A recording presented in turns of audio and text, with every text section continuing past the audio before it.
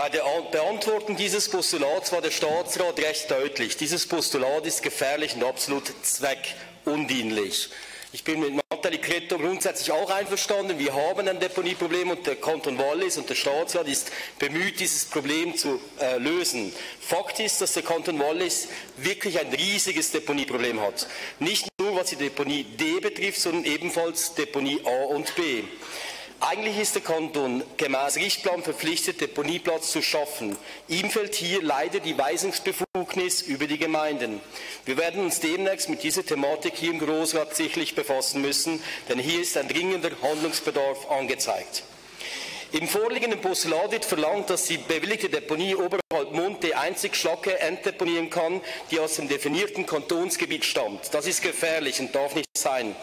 Denn das Wallis war seit 2007 auch froh, seine Schlacke nach Saint-Trifon und nach Hinwil bringen zu dürfen. Nun diese Deponie anderen Kantonen nicht zugänglich zu machen, ist alles andere als partnerschaftlich. Wollen wir wirklich uns auf dieses gefährliche Spiel einlassen?